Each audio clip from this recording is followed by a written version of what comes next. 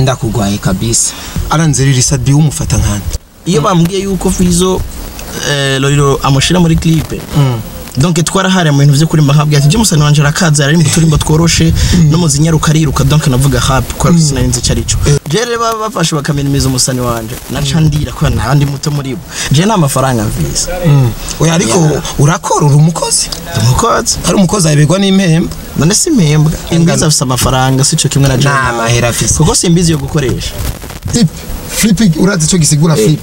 flipi gisigura kwa kuntu utangi utangi utanga ikintu ukaronka turazi abantu benshi bahebye ama TV online kubera ko ama TV online yabategeka kubaza ibishego hama ikindi kintu naco yo sorry nta muduga amenyereye.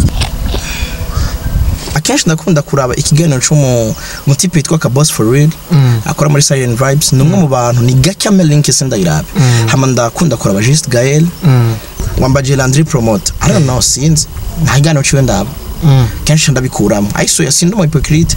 Aya hypocrite singira kabisa. Cyane ndagikuramwo kubera ko nta kintu na kimwe kimotiva kuraba. Eh. Arabapostinze si ikintu abakoreye ico? Oya yari yandirimbo si igikorwa bakoreye yarabapostinze of course. Eh. oya yari indirimbo ya ngo bisize Mbwana na Sa- bisize ubwenge. Ah, ah. Eh, niko yari yanditse titire yego. Ngo ibintu bikifizo akoresha adminemitinama ngo bisize ubwenge. Twabatakarije umwanya. Dusame ibyo niko namba nivugira. Oya ntitwawutakaje twakoresheje.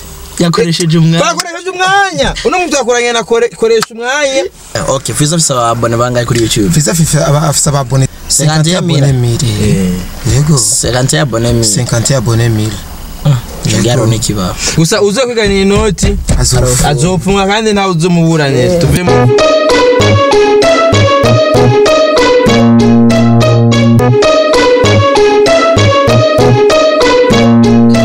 neza.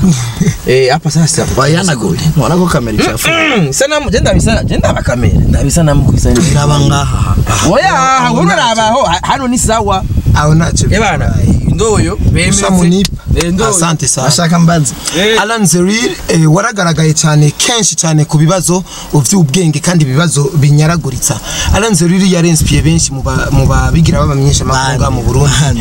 eh, narumvise ibiganiro byinshi Landry Promoter nabonye ikiganiro yavuze ati Alan Zeril wubahwe banshuti ya bose nama nabonye ati Alan Zeril wubahwe ni ukuvuga yuko wababaye inspiration. Alan Zeril we yiyumva gute kuri we? Abonye abantu ariko arinspira muri Buja Flavor Uh, the first reka mbanza gushimira ko mbwiye ibibazo by'ubwenge antuka si jewe. Ni imana. Kubera ko jewe nzi yuko ngiye kubaza umu artiste cyangwa umu invité wanje eh hamama peut-être nimba abantu babibona yuko umengo ni ibibazo by'ubwenge ni bon. Kiba ari wari umugambi w'imana hama konspira konspira nibaza yuko babomare bararirimbye ariko ntibari bazi yuko hari abantu bazokwifuza kuririmba nkabo. Donc ikintu urakibamwo wewe ubwawe. Kubera ko jewe ubwanje sindamenya. Ya ahubwo ndaciga ndashaka ibintu byinshi byo kumenya. Hari wuzi ufise ubumenyi bwinshi. Yo ndahurira kugira ngo nanje mbandanye ntera imbere. Kubera ko hari byinshi je mbona ntaramenya peut-être ko hari Umaze y'ibibazo kugera. Eh. bamaze kumbona kapana maze kugera ko baba bamaze kumbona ko peut-être bumva yuko batarashikako. Ya nico gituma baba bumva yuko umengo no no ba inspiration yabo Eh. Bo Alan Zeriri Indundi TV eh, ni, ikinyamakuru sinzi ko ari TV gikomeye cyane nga mu Burundi. magazine. ikomeye cyane nga mu Burundi. Alan Zeriri akaba hari ikiganiro yigeze gukora cha Sadbi Karabajya concert. Icyo kiganiro nico natangiye kumubonera ko jewe ni cyo mvuze. Alan Zeriri abenshi baramukunze ko yamubajije bien sana. Alan Zeriri Sadbi umufata nkande ni iki cyerekana yuko uramubaje bien sana? Eh. peut-être ko nico kiganiro wabo hari ikibazo hari ikibazo wamubajije uramubaza ati Sadbi ura- urasohoye za no love za feel love uno munsi tuzane karabajya concert. Mu gusohora indirimbo wewe urayisohoraho ukaca ukora concert. Indirimbo ikaci ibomora nk'uko itari imeze. Icyo kibazo naragikunze cyane. Right. Niko byari bimeze none? bo mu bisanzwe niko twari tumenyereye turabona za feel love concert za no love concert naho turiko turagira promotion Sadbi ariko nivyo ni cyo kiganiro natangiye kubona ko. Oya nico kiganiro cyafashe trend budget Eh, u- u- ufata gute i- kuntu wamwakiriye kwanza u- ubibona gute we? Uko namwakiriye? Mu kiganiro sha nk'uko ndamufata mu buzima busanzwe mu buzima busanzwe basingena right. Sadbi ni umuririmbyi w'umurundi akora neza y'umuziki w'uburundi agerageza kwitanga kugira ngo peut-être we nyine afise canke ibyo tubona avuga ateze imbere umuziki w'uburundi akavuga yuko adashaka gutera imbere wenyine ahubwo ashaka no kugira ngo urundi rwaruka maybe ejo muri kazoza niyo aba atagihari na bakuru biwe. Hazasigara urundi rwaruka rushobora kuvugira umuziki w'uburundi. Ni na yo post yigeze gukora aho yashizemo abaririmbyi nka ba Berry Music Eh. yashizeho abaririmbyi nka ba. Mokenzi hajya Oleg yaramushizemo. Sindavyibuka mugabo vyoshika mugabo yavuze ati n'abandi benshi ariko umuririmbyi yashizemo urabona yuko bakiri bato araba arabaririmbyi ariko aragerageza gukora. Nibaza yuko nimba babona ibikorwa ba Berry Music bariko barakora ba Oleg bariko barakora ba Design n'abandi bariko barakora. Nibaza yuko kubashigikira ni na byiza ariko ntibabashigikire gusa ngo kubasiga amashugwe kubasiga amavuta cyangwa kubatera amashugwe. Ahubwo bash- babashigikire no mu mpanuro kuko si ibyo si byose byama byera Eh, hama ikindi kintu ndamubona ko nuko ari umuririmbyi afise ishaka iyo aza ko ari mu gihugu gitahura entertainment neza canke iyo aza kuronka aba sponsors ni ca gihugu nyene gitahura entertainment neza. Nibaza yuko kuri vision na na na na ntuze n'ishaka bishiramwo aba yarashitse kure muri ibi bigero ubona ba Diamond. Eh. Eh, co kimwe nuko hari ukuntu ari umuririmbyi yazanye agashangement eh, ko kuzana buzz buzz n'ibintu bitari bimenyerewe cyane. Even naho hari abantu badatahura buzz ariko ngira warabyumvise wari kwa Monsieur Ambassadeur we n'inyamitwe warumvise ko buzz ari ikintu kinini nyakuri Kinini ku baririmbyi bagikoze no ku iterambere ry'igihugu ko bishobora kwinjiza amafaranga. Nibaza yuko ari uko numwe mu baririmbyi bitanga kandi bakeneye gushigikirwa co kimwe n'abandi benshi ariko nuko bambaje kuri set. Zeri eh, umuziki ndazi kuba muri eh, journalisme ndabi ndavyita uko. Eh, ni entertainment ni umuziki nyene. Basanzwe ukunda Alan Zeri atanga ukunda umuziki ryari the first day nararirimba bararirimba Eh, uretse yuko naje muri studio nawe nari umwana mutoya nari umwana muto urakora za ngoma bwa bundi twabona n'imikuru nawe je nararirimba gusa. Harabacuranga imbere imbere narakunda sa muhiri wacu twari abana batatu. Hari mukuru wacu. Oh, twafata bon yari mukuru wacu nuko nyene niko bimeze. Hama umukuru wanje w'umuhungu n'umusista bari abafana ba Lolilo Eh. je nanje nari umufana wa Satbi Eh. wa Fizo. Kwitu kuko Satbi ntiyari bwabeho donc ntitwari tumuzi hari les années 2003 ya 2003 ni ho ukunda hama. Ico gihe iyo bambwiye yuko Fizo eh, Lolilo amushira muri clip. Donc twarahari mu bintu vyo kurimba nkabwiye ati James wanje arakaza ari mu turimbo tworoshe no mu zinyaruka ariruka. Donc navuga happy kwa mm. sinarinze cari ico Eh. uh, bakaca bambwira ngo yaha ngo muga turamusumbya amahera ngo raba ngo turango ngo turagashira muri clip uravye bya bya bindi by'abantu ba- baharira bahari fese ukuntu haba. bakaminimiza umuntu. jere bafashe bakaminimiza umusani wanje. Naca ndira kubera nta ndi muto muri bo. Ariko mama mukunza kumpoza kubera ko jewe ndi wa mwana wa mama. Eh. Yashaza akambwira ati mayini umusani wawe arakaza eh mu nyuma rero ni ni inspira kuri kuri ntuzeye ujya yitwa nde? Yoya. Yo ya Jamal. Nashaka yuko ninaririmba.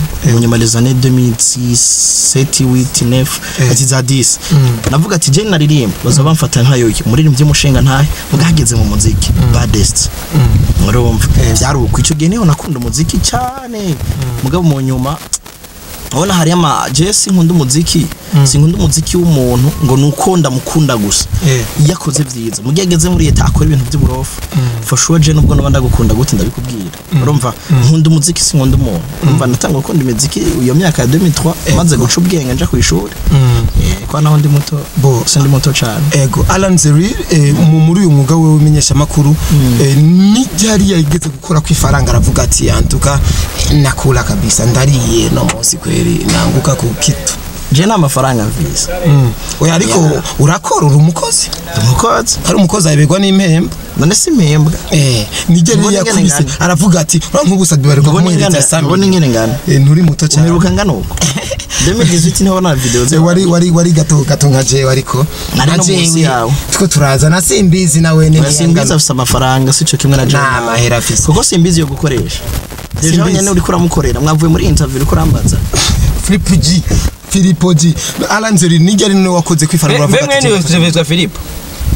Filipo Eh. ya yo kwitwa Philippe ibyo byavuye kuki. Are are umva ari byo Flip Flip urazi cyo gisigura Flip eh. Flip gisigura Ya Philippe. kwa kuntu u- utangi u- utanga ikintu u- ukaronka please yani ni ni- ni nka ico kintu business. candikwa gute tuze kukirondera kuri google?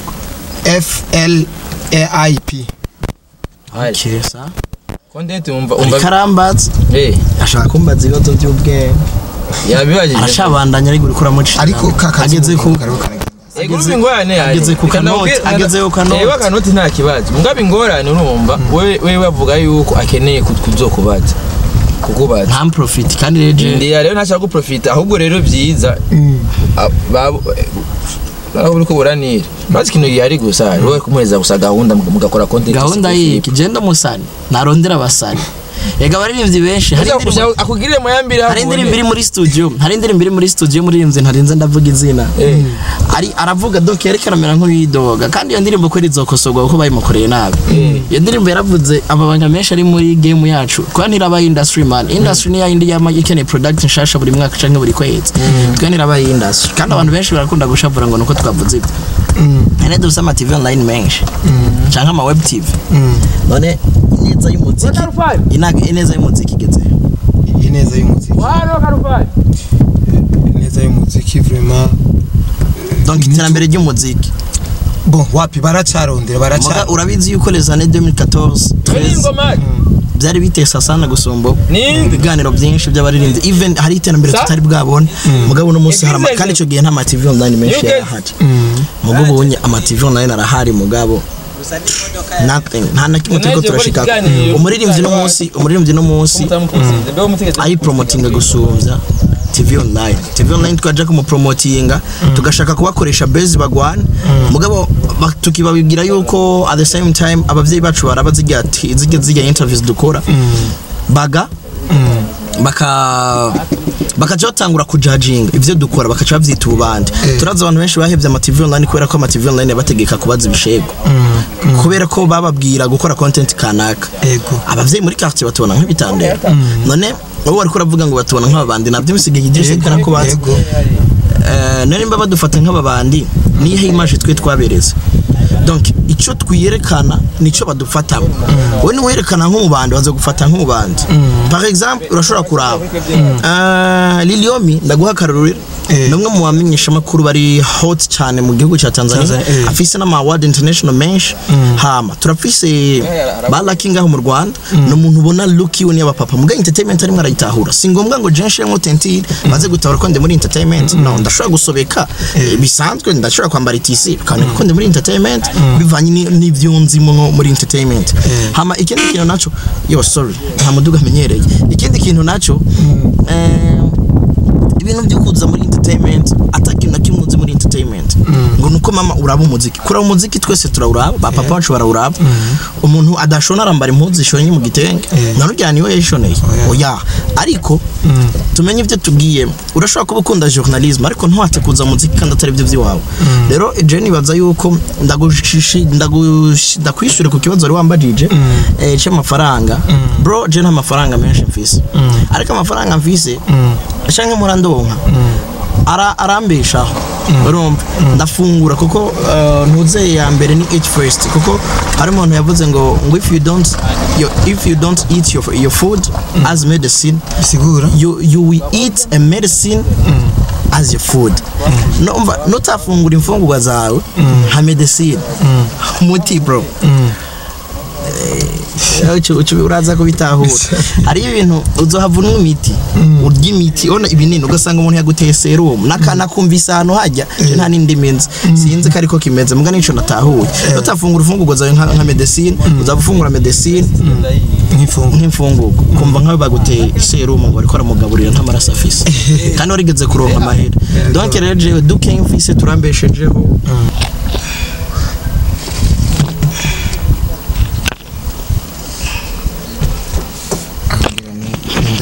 ariko urambaza rero ngo aranze riri arafise umugore. umugore bisigura ushatse kumbaza kuba ufite umuryango kuba ufite umuryango utunze umuryango.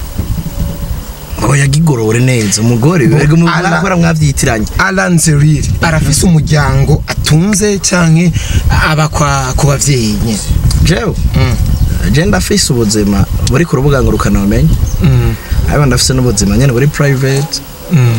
Je sindarongora hari amapingu mbonako. Hari impeta mbonako. Ariko naje nta nta je ntavyo nakubajije. Hari impeta mbonako. Bisigura yuko nkiri umwe eh, bo aranze riri nyene uri single? eh ibintu by'urukundo nyine love kuko je ndakubona usa n'umuntu umengo uri umusore kandi eh, nturi mubi cyane kabisa. None mubara baho Eh, sindabizi niko- tu- tusa n'imana. Arafise umufiance wapi? Nta meme mufiance na girlfriend pana fiance. Meme na girlfriend nta fiance aranze rero nk'ubu hoba media yo mu kindi gihugu yomurondera kugira ayikorere. Aranze riri yogenda kuyikorera. Precise. Abo babazanye nk'amafaranga ngahe ntayo nzi ni, ni, ni media nyene nka wasafi nyene avuze ati uri jama wa mu, wa mu indundi tv mutaji ni akamurondera aranze riri contract tuvuganye kuri contract hama tukayihuriza ko nogenda Okay. tutayihurije ko sinogenda kuko barafise ibyo indundi tv mufitaniye kontra imeze gute? Aya si ngombwa ntibiri hanze kuko igihe nasinye na yo ntitwigeze tubishira ku mugaragaro. Ah. Indundi tv gusa n'umuryango wanje. Kandi nkunda cane nubaha. Mm. Ese Alan Zeriri nabahe ba- aba- aba- abamenyesha makuru ndabita uko nga mu Burundi avuga ati abamenyesha makuru vraiment. Bara- ba- bameze bon. Jewe sinishizemo we ntiwishiremo uvuga ati abamenyesha makuru vraiment ni top. Bari top. Uvuga ati aba ni bien. Kuko urana abajure turabona Saido ntibazongiza uvuga ati yakinye yego ni bien. Ukore niko nshaka ubigenze cyamenyesha amakuru nemera ntibariko barakora Mm. Uh, kandi bari muri domaine yiwanje. Eh. Donc mu bisanzwe hari ukuntu jewe umuntu ndamukundira ikintu aba ariko aragira donc uh, par exemple nakunda narakunda how kiramba ariko aravuga amakuru. Tureke ko yakora ya politiki. Mm. urumva yuko ijwi ryiwe ryarashobora kukumotiva kumviriza. Urumva. Even n'ubwo bwo budakunda ibintu ariko arakora utari muri iyo kategori. Eh, hama narakunda ukudatinya kuri iriya myaka. Eh. kwa Ismaili. Narakunda ibibazo vya Marvin Marvin Lee. Marvin Lee. Ya urumva? Mugapana yuko araba idol donc idol mugani ni ni birafise ukuntu. Ntibanyanspira ngo ku buryo no kubiga ko ama nkaza gukora. No. Ubu sha ubunye byongora mbwira abamenyesha makuru batanu bariko barakora Mm. Eh. Kunani nca ndagucagurira gira first battery ya simbi zirazira aba menshi makuru Batanu canke barenga, Hariho ba- ba ca Mipro, ntoramwe. hariho ba mipro Mm. eh, hariho ba eh, nyine ku mateleviziyo cyangwa amativi aho ushaka bivanaho mbajije wewe boje nashatse nyine muri rusange tu, muri nemera nemera ko bashoboye ko bakaze. bashoboye vuga ati aba vraiment ni top kwa Burundi turafise kwiri. Ho uhamagaza amenshi makuru jewe notora. Vuga ati nimujane nka abatanu reka nako baze wewe. Duhere kuri wewe. Wowe gutuma batanu. Eh. Uvuga ati muri iki gikorwa ndazi iki gikorwa canje kigenda neza bara- barabizi. Worabiki wotora abandi. Icya mbere notora abo bantu nimba mbona yabo bakoresha ari yo yo gukubiranya umuntu yo kujaniranya umuntu atari byabazo bi- bituje umuntu mwisharana ati bi- Ukarinda ukuntu- kwandika. eh Landry promoter no mutora urabona? Muri bya bintu byo gukubiranya urabona? Ariko rero mu bintu oh, tuvuga yuko bituje eh amipro no mutora kuko eh amipro aravuga neza arumva neza yuko hari itampuritse nyene no mu kuvuga. Yego. Ubona akarorero ka hafi. Okay aba ni babiri. Mm. Eh, batanu. Bareka tugeze ngaho. Ko na jewe no jo menyesha amakunda mukunda bivanye nuko nakunze ikiganiro. Mm. eh biva bivanye nuko nakunze ikiganiro ariko arakora. Mm. that is it. Aranze riri randi promotari ikiganiro araba kitaguhabuye je na titre. Titre. Je kwanza sindabiganiro byo mu Burundi cyane Mm. even ibyo hanze sinkibiraba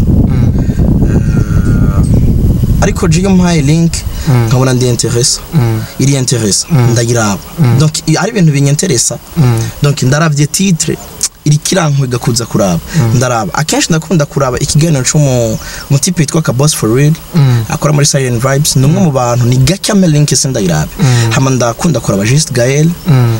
even arakunda kugira ibintu by'ubusazi twese ntitwosa kumwe ara- aramotiva donc aramotiva bijya niyo style yiwe. Donc ni gake je nta- ntaraba link ya Gael. Last time naramwandikiye akoze n'ikiganiro be na Miss Erika n'umugabo wiwe mushasha nambwiye ati good job bro. I like it kabisa. Kubera ko je ndyohewe sindakubesha wambaje Landry promoter I don't know sinzi. Nta kiganiro ciwe ndaba. Mm. kenshi ndabikuramo. Ayiso yasinda umu hypocrite. Aya hypocrite singira kabisa. Cyane ndagikuramo kubera ko nta kintu kimwe kimotiva kuraba. Mm. eh. gusa nyirakuri neza y'abarundi y'abarundi Eh, nese kabivuga aranzeri jewe hariho na, na, nashatse nkuze yo gukora i- i- uyu mwuga wanje. Narashatse nkora ibiganiro bituma habaho umuntu avuga ati je ndicaye reka ndabe ka gahungu kakoresha umwanya. Uno munsi ivyo kankine ni ikiganiro dufate ko nocita ko kiryoshe kuko kigutwenza ukoresha umwanya nk'uko wabivuze Eh, hanya bateri bateri ryazimo gikoresha umwanya nyene kiganiro kiryoshe nyene kinyaruka kiryoshe kuva intango iri herezo. Swat twenga canke ukumva neza ko harimo ubutumwa ariko bu- busotera busatira umuntu nka musupa ikiganiro nyene gitwenza hama kirimwo n'ubutumwa Eh. ni byo rikaba kukiraba ibokira ariko rero ba bantu ne bafata titre ugasanga ikiganiro ata titre ugasanga cyabaye swata ico cyo kivuze ikiganiro kibaswata ryari? Ikiganiro kibasota abata ama views caronse mu ncamake ikiganiro kironka views ryari kiba caronse views ikiganiro kironka views hari igihe usanga harimo akantu haka views ubu haba nk'akahinto. ikiganiro caronse views nizinga ni ziba zingana gutya views dufate nk'umuntu dufate ufite nk'ababone nka nka nka kuri 20K. views. eh views. Turi kuri views. None ikiganiro usanga gifite nka views 50 views 50 none views. Izo si views caronse. Ego ni views. Ariko vuga ni nkeya. none wahora uronka nka nka nka deka nka truaka ukaturonka 50 views Urumva urabona neza yuko batakiravye urumva hariho n'iganiro ukora bajya bakiravye bajya 50 bise bande niyemba bajya 50 hari igihe usanga ari wewe mu nzu nyene mwakiravye eh, iwanyu murabona muri abantu 50 usanga hariho ama system nyene ma system ugateka none wowe mu rupangu iwanyu waza kuba kuraba mu rupangi wacu Eh. ntibandaba vraiment Mu nzu yanyu ntibangaga kuraba? nta numwe nta numwe urafise papa oya mama oya abasista. Ego barakuraba. Rimwe rimwe kabisa. Rimwe na rimwe bajya ahantu 50 wa munzi wanyu ntabarimo bajya bakuravye n'abantu just amenyesha amakuru benshi. Iyi message ya vida nashika kubera ko sindi muri mode kuva saa mbiri ndahantu ntaranataha narushiye umutwe. Eh. Bajya abantu 50 baha agaciro kuko n'abantu 50 baye content imeze neza ntushake kubicira mode. Igituma baravye bagaheza ni kubera ko bakunze ikintu bariko rayaga igituma zigira like ziriko nimba ari zibiri canke zitatu nuko bajya abantu baravye ikiganiro ca bagashira ko like. Jewe naba ndababwira Idris Singuyu ari muri game time. hajali hajali views. Arafise n'ikiganiro gifise views mirongo itanu canke ijana kandi kimaze imyaka myinshi. Eh. rero kurambwira ngo gukora ikiganiro kigakubita swata bro you are not an artist. Sivyo? We nturi satbe nturi fizo nturi lolilo nta clip wagiye gukora yagukonsomye miliyoni zibiri. Agi. urumva man? Eh Idris ariko arakaba ngo siyoya ngo si- si- si siroriro ngo si amamiliyoni. eraba si yoya. Eh. si Eh. si satbi Eh. si fizo si na double j. Cyateye swat. braza nturi na Chris MB urumva cyateye nturi na hamuka cyuza ngo cyateye swat none ga bro? Bajya abantu mirongo ibiri urabishe ko uvuze ngo nta views caronse ko handitse 20 hama views. Bajya 20 ni bande nimbwa aya n'abantu nibikoko ni views. Donc no kuvuga bajya abantu baravye bubahe baha agaciro. Ntucike intege igituma abantu benshi baza muri ibi bintu baza bazi yuko baje kuyora amahera baza bazi yuko surtout nkawe wari kuravuga bakumenye. Uburyo uje kurondera 6 sivyo? 6 na 6 ni ho wayironse ugira waronse nziza. Hari umuntu hajya ariko arakuravuga ko ari umuco w'amayi kandi yo guhaye deal nabo abantu bakeyi bawe. Urumva? Wowe ukora ikiganiro kugira ngo bakumenye sabo barakumenya uwo mwakoranye esike bamumenye? Urankoresheje ikiganiro uraze uraje ukubise ibintu by'amahopa uri kuragira ibintu ku buryo umuntu wese akura byacu avuga ati kaga ngo nakanwa rumogi urumva? Naho ibintu kageze mu kiganiro wibaza yuko icyayi kije kuri inde wewe wagize ibyo bintu. Uri journaliste reka iyo buzz ikora mu artiste. Urabaze kureba interview za za ntuze sande Alvin Smith? Ego sometimes serious sometimes atari serious. Agashyiramo utuntu twa comedy ugasanga arahamagaye umuntu hariya arahamagaye umuntu hariya nkabigira Idris ariko aragira ampamagara kandi n'imbere hariya kandi Bro. iki biri live. Ntibiri live baraza kubyeditinga mugani muri kamera ashaka ibikuramo rero njye kibazo mpora ngira ni mpuza mufise objectif ya gute wewe ushaka yuko icyo uje gukora kizokwe ari ushaka kuvuma cyangwa icyo uzokora arico kizovuma hama uronkereho 6 muri cya kindi wakoze. Niryo tandukaniro ry'uno munsi n'ababandi ba kera. Rero shaho koresha umwanya. Unashaka unakoresha izina ryawe kuko iyo yobaye hashtag yawe. Izina rya- ukoresheje izina. Bon sindakubwira ngo wiyite izina ry'iwawe ngo ngo ngo jinal no ariko kwita izina koresha umwanya si izina. Kandi urumva ko atari izina. Iyo ni hashtag kandi ni hashtag nziza. Try to be professional. Urumva ikibazo bakibajije bakibajije c'est bon. Baronse inyishu z'icyo bashaka. Ariko buzz uri umu uri umu journalist cyangwa ushaka kwitwa umu journalist. Waza yuko dufate amategeko mwari mushaka cyangwa babandikije muri asense ntibazi yuko nabo abandi babaravye gute. Ndazi yuko hajya benshi muri mwebwe. Mu mwari kumwe. Bakuravye bakakubona nk'umusazi. Sin- sindi njyajya n'amakomantere menshi narabibona nabajya nyene hari igihe usanga bariko barakugana muri groupe rero umuntu ntaguhende ngo ukore buzz. Ngo ngo ibiganiro byawe ntibirabwe ngo uzoca ukurikiranwa no bro. Ushaka gukora ibintu bitwenza kugira bagukurikirane. Ja muri comedy. Igisata cya journalisme ugihebe.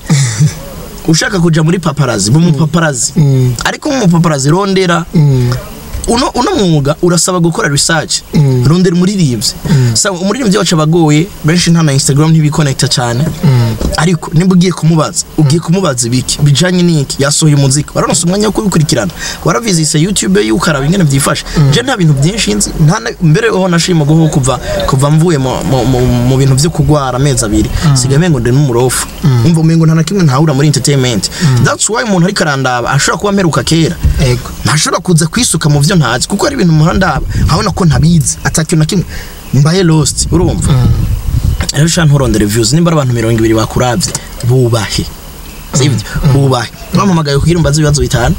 Eh, bitanu. Byarenze. Byarenze Eh. byanarengeranye. Eh, bo so Alan Zeriri je ndagushimiye cyane. Ivyo bintu inyigisho umpaye zo kutarondera amaraza- akazina kanje. Izina ryawe ry'ukuri. alan the real Alan Zeriri alan the real. Hari ikiganiro nakoze n'umutipe umengo ni umusazi ndamubwira ati subiramo Alan Zeriri ibintu yavuze naratwenze. Eh, yavuze good. yavuze ngo aladeri aladeri aladeri mu uburyo mukunyi mukorohe baca bahamagara deriri deriri canke doriri dori Nyata- Bahamagara. ariko je gusa ndakunda impanuro zawe. Eh, ni, kenshi numvirije ukuntu uvuga numva umengo uwo mpanura. Urampanuye ku cerekeye views. Vraiment sinzosubira gushavura ngo naronse views nyinshi. ntuwuririre views. Naje nta views nyinshi ndonka ndonse nyinshi n'ijana None amajana abiri. buriya hari akantu hari akantu kamwe gusa ndenze kuri vyabazo bitanu nta na kimwe. Amatitre kuri Indundi TV ubu u. arahabura vraiment araha kandi kera vraiment sinabona amatitre ngo Titre yazabe. zirabura gute? Ngo- ngo ibintu Big Fizzo ngo akoreye sat bingo navyo urabona? ntabyo urabona? Ivyo yabakoreye? Nibiki yabakoreye? Ushuje kurabona ibiki abakoreye iyo nzi arabapostinze si ikintu abakoreye ico? Oya yari yandirimbo si igikorwa bakoreye? yarabapostinze of course. Eh. oya yari indirimbo ngo bisize ubwenge. Eh niko yari yanditse Hato. yego. Ngo ibintu Big Fizzo akoreye sat bingo na ngo bisize ubwenge. Aha. Wari Bavuga bwabone wari bwabone bisize ubwenge. wari bwabone wari bwabone Farious posting ikintu kirimo satsi eh Ferenz yaramaze gupostinga sat Ryari? kuri stati ryari kuri Emilio views. Emilio views yayikwije eh, eh, haraciye amezi amezi menshi. Rero yaramupostinze kuri Emilio ya views ijya information nari nayikoze beef ntabwo yari bwabikora kijya gihe. Eh. Byari ibintu bitangaje. Uribuka ubwo drama dramati kiriku bapostinga indirimbo ya Miss Rika na na sat na Belle Nice. Na Belle Nice na Miss nayikoze k'inkuru the thanks abantu babamo ibiyumviro yuko ari uburofa. Nibyo bintu bitumye n'umunsi Tanzania iduga hejuru. Akantu ngemo n'akana kantu gatoya bakabwira big deal kuko ni entertainment. We teach we entertain. We give an information. Rero ndiko ndaguha information ariko atari entertainment si taarifa ya habari. Eh. reka nguhe entertainment. Twintertainingane hama dutange na information. Hama tunasigire comment abariko baradukurikirana that is it. Ni ibintu bisanzwe. Tayari? Mm. asante sana. Reka atarete sana. ndakubwira ngo icyavuzwe mu ntara ya ya. byagenze kuno kuno kuno tugerageje kwaza musitanteri w'iyo komine yatubwiye yuko ibintu ibintu ibintu byagenze kwa umunyagihugu akacavuga musitanteri akacavuga point bro si taarifa ya habari je ni entertainment. Entertainment. eh muziki. Hama gacu usanga umenyesha wewe witwa umenyesha makuru cyangwa mu youtuber umuririmbyi yakoze buzz kujya kubwira duka uvuga ngo je nibaza kari buzz? Bikuraba hewe ntibikura wewe tanga icakozwe. Yego. Asante sana kweli urakoze rero. Much respect abantu bo kwa buda naza basezere Ebana, namba namba namba twabatakarije umwanya. Tusame, je niko namba nivugira. oya ntitwawutakaje twakoresheje. Yakoresheje umwanya. Twakoresheje umwanya. Uno mtu akoranye na kore- koresha umwanya. Ale, nafikiri umemsikia Flip G. pako watu wamesemaga eti Flip G moya mbili mumisikiaje Flip G Eh, mwakora ibyo akunda Mm. kandi akurikirana ntiwoza kumenyesha amakuru wa entertainment utigera uja instagram utigera uja youtube kuko abukora bakoresha instagram page ya facebook bakoresha na era bakoresha na youtube ni nizo nzukura akabaririmbyi wikipedia yoyo byaranse hariko bakeyi. Ego. Harimo Satibi wenyine Ariko hapana sadbi gusa. DJ benshi ba rebeka barimwo ba- masterland bariko. Ako sika kagunye no kwasa ba famba bariko. Masterland rero kwasa sikasongo none byose abigira none nimba ari wafise autorisation yo kugira ngo ariko nta muri DJ nkora nawe simbizi ntarani ntigera nja kuraba ibikorwa vyiwe YouTube yuko ihagaze. Ico nico manza kuraba. Ndakubaza ego. Ndakubaza ego. Eh okay fiza fisa abone bangaye kuri youtube? Fiza fifa afisa ababone 50 abone. 50 abone? Ya. Mire. 50 abone mille yego 50 abone mille 50 abone mille ngaro nikiba mimi ndakubaza wewe Flip G Mm. Landry yavuye kusatura veke chef place ravamo nawe uri uramaze kuva muri team satura. Uh, bon hajya ni mwirerero hajya navuze ati hajya ni mu ishuri. nubu uracye team satura. Babigishije. Iki twaba batwigishije gukoresha imbuga. Yego nindiye uzogumayo cyangwa bavuyeyo jewe Mm. Sinzovayo kandi sinzigera mvayo. Sawa. Yego. na Landry niko yavuga. Gusa uzo kwiganira inoti azopfungwa kandi ntawe uzomuburanira tuvuye muri formation twamenye byinshi. Inyuma y'inama ni handitse ko ngo journaliste formation Atelier de formation de capacité de des journalistes. Sawa.